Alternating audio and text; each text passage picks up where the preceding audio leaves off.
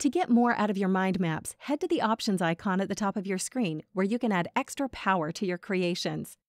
Auto Hide lets you focus your attention on specific areas. Simply select the branches you want to view, and Auto Hide will then hide away the rest of your map.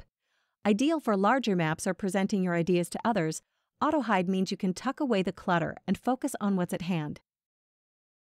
Box Map is your default map style. However, you can instantly switch between different styles as you please.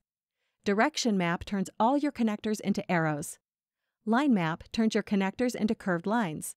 And Gradient Map adds color gradients to your child branches, so you can show clear distinctions between your connected ideas.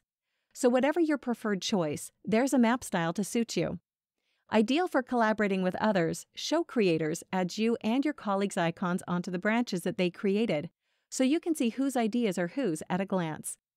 Finally, speed keys give you quick keyboard shortcuts to use, so you can save time and create your mind maps with speed and efficiency.